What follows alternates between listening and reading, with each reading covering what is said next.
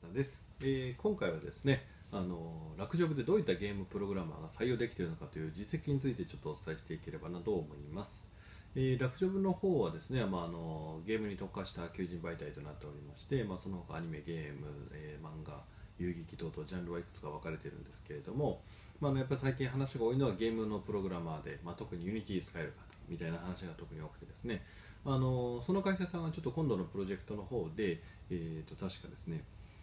カジュアルあカジュアルじゃないな。ストラテジーだ。ストラテジー系のゲームをちょっと作ることになってで今いる人数だけだとちょっと足りないっていう部分もありあのサブで入ってくれる方を探したいということであのうちの方にご相談いただいたと。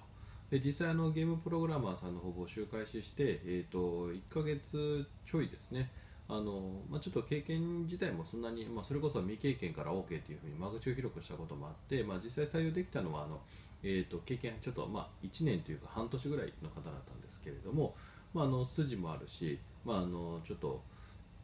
まあ、ぜひあの一緒に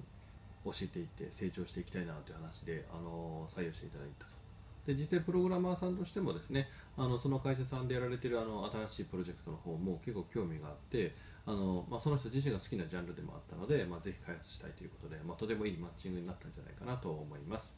ラクジョブの方はですね、本当そういったあの Unity もそうですけれども、あのまあ、 Cocos などを含めたあのゲームプログラマーさん多数登録されてますので、ゲームプログラマー探しているという方ありましたら、こちらの方までお問い合わせいただければと思いますので、よろしくお願いいたします。